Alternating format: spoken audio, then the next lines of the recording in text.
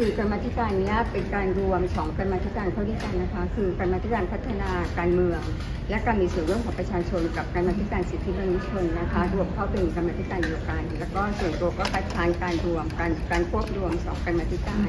แต่ว่าเสียงส่วนมากก็ก็ผ่านนะคะ แล้วก็โดยส่วนตัวเนี่ยก็เสนอตัวว่าเรามีความสามารถนะคะ แล้วก็สามารถที่จะทำงานตรงนี้ได้ก็เสนอตัวมาตั้งนานแล้ว น่าจะเป็นเดือนแล้วอะค่ะ คือส่งประวัติไปให้กับเอ่อคนที่เป็นวิทย์อะไรด้วยนะคะ แสดงเจตจำนงเลยว่าตัวเองมีความสามารถที่จะทำงานได้ค่ะอืมความเป็นไปได้ความคาดหวังที่จะให้เพื่อนในกรรมาธิการเนี่ย ถ้ามองจากข้างนอกมันค่อนข้างเป็นไปได้ยากพี่อังตรงนี้มองยังไงบ้างคือเอาอันที่จริงแล้วเนี่ยถ้าเราพิจารณาตามความรู้ความสามารถและประสบการณ์นะคะ มันจะเป็นการมันไม่ใช่การแข่งขันเนาะแต่มันจะเป็นการพิจารณาเพื่อ เพื่อที่จะให้คนที่มีความเหมาะสมเข้ามาทำงาน อันนี้เพื่อประโยชน์ของประชาชนเป็นหลักนะคะ แต่ว่าถ้าหากว่าเราใช้วิธีการอื่นอย่างนี้ก็ก็ก็ก็ก็หนักใจ เพราะว่าส่วนตัวเองเนี่ยก็มีมีการมาธิการในคณะเนี้ยโทรมา แล้วก็ขอให้ถอนตัวนะคะ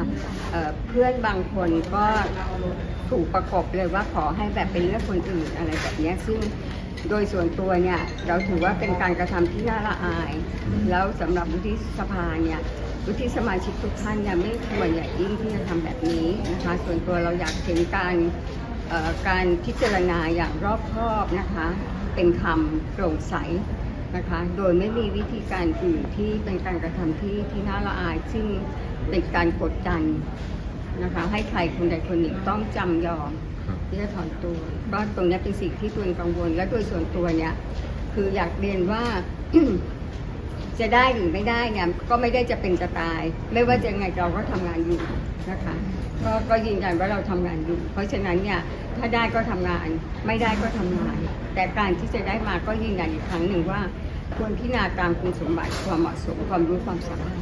คือภาพลักษณ์ของสวตอนนี้มันมันหลังจากเมื่อวานเนี่ยครับที่ประชุมเนี่ยมันกลายเป็นว่าแย่งกันแล้วมันภาพลักษณ์มันออกไปไม่ดีมากๆเลยอย่างเรื่องการบอกเรื่องอะไรเนี่ยมันกลายเป็นเรื่องปกติไปแล้ว คือต้องเรียนตรงๆนะคะ บางทีเนี่ยเวลาพูดเนี่ยนะคะสวบางท่านอาจจะบอกเราไม่มีพวกไม่มีกลุ่มใหญ่ไม่มีเสียงข้างมากข้างน้อย แต่ว่าในทางปฏิบัติในความเป็นจริงปฏิเสธไม่ได้ค่ะ เราส่วนตัวเองเนี่ยก็เป็นคนกลุ่มน้อย เราไม่ใช่พวกเขาก็เป็นคนอื่นอะไรแบบเนี้ยเราถูกมองแบบนี้มาตลอดนะคะอันนี้คุยกันแบบตรงไปตรงมาดีกว่าค่ะ ผีเรื่องการบล็อกโหวตมันก็มาตามหลอกหลอนในอ่อ การเรียกกรรมาธิการด้วยเนี่ยเหมาะแล้วเราหลังจากนี้ไปครับ ถ้ามีการโหวตลงมติอีกเราจะแก้ปัญหานี้ยังไงบ้าง คือถ้าสมมติว่าเราใช้ระบบคุณธรรมในการที่จะพิจารณาการทำงานนะคะ ใช้ระบบคุณธรรมเนี่ยความโปร่งใสต้องมา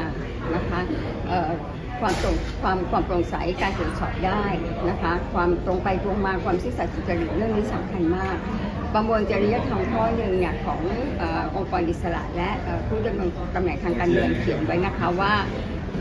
คนที่ปฏิบัติหน้าที่ในกรรมการองค์กรอิสระ หรือผู้ดำรงตำแหน่งทางการเมืองเนี่ยต้องไม่ต้องทำงานด้วยความกล้าหาญไม่หวั่นเกรงต่ออิทธิพลใด ๆ นะคะ ส่วนตัวก็ก็ก็เรียนตรงๆนะคะว่าทำงานอย่างตรงไปตรงมา และไม่สบายใจอย่างยิ่งกับวิธีการใด ๆ ที่พยายามจะกดดัน